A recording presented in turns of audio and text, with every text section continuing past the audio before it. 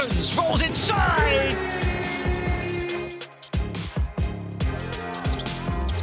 And they get their shot as well. And it goes at the buzzer.